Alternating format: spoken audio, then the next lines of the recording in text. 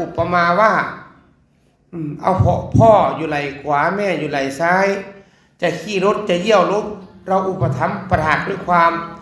ยินดีปรีดาด้วยความเอาใจใส่ด้วยความถึงใจจริง ๆ ก็ไม่เท่าพ่อแม่ที่ยังไม่รู้จักทาน เราชักนำชักชวน พ่อแม่มาทำทาน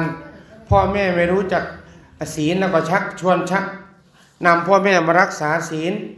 เออ พ่อแม่ไม่รู้จักทำบำเพ็ญภาวนาแล้วก็ชักนำชักชวนพ่อแม่มาบำเพ็ญภาวนา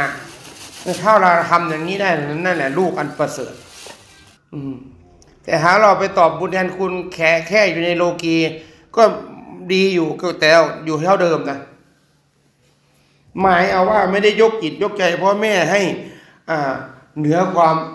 หลงทั้งหลายที่เคยมีมานะนะฮะว่าลูกที่ประเสริฐนะ ที่ดึงพ่อดึงแม่เข้าสู่อัดสู่ธรรม